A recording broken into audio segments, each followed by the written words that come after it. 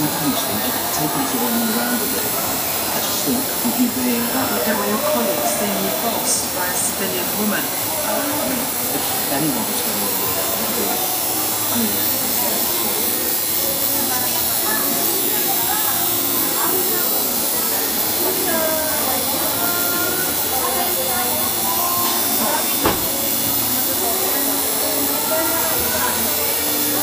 Thank you.